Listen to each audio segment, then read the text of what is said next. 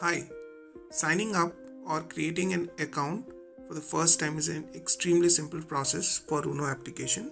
The moment you download the Runo Call Management CRM from the Play Store or from the iOS Store, this is the landing page. So first you have to start giving with giving your mobile number. So I'm just giving some random mobile number. Once you give your mobile number, this by default becomes like the admin ID right? So you have to give your name all the details whatever is asked for like email id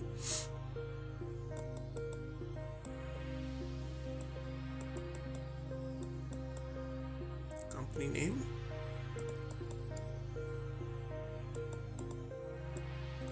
Password. You can create your own password. And then how many demo licenses do you need for the initial trial period. So i mention it as 10 and register. That's it. That's how simple the process is to create a new account with runo. Uh, so it again asks for password. Just password again. Here we go. Thank you